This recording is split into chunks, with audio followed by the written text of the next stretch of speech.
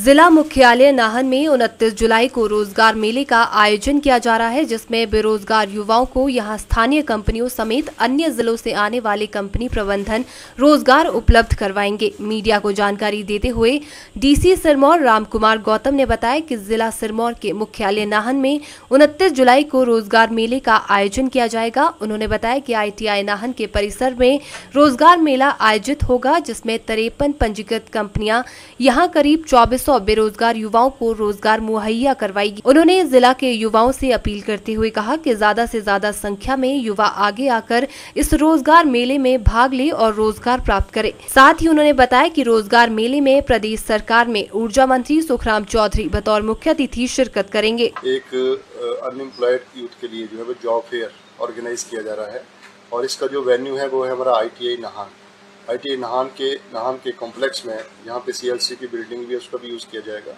और लगभग इसमें 53 कंपनी कंपनीज़ ने हमारे पास एक भेजी है। और इन 52 two two fifty three company जो हमारे पास रजिस्टर्ड है, उसमें लगभग हमारे चौबीस सौ वैकेंसीज हैं।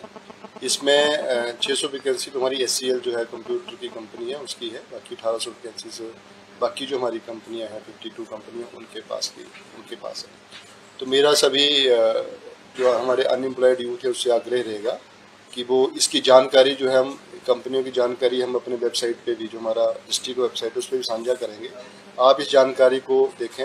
इस जानकारी के अनुसार, जो जो आपको लगता है कि आपका स्किल सेट उसके अनुसार है, उस कंपनी में अप्लाई करें और नौ बजे इसका रजिस्ट्रेशन स्टार्ट हो जाएगा और जब तक सभी हमारा एरिया है, वहाँ से जो सारे लोग हैं, वो इस जॉब फेयर में ज़्यादा से ज़्यादा संख्या में भाग लें।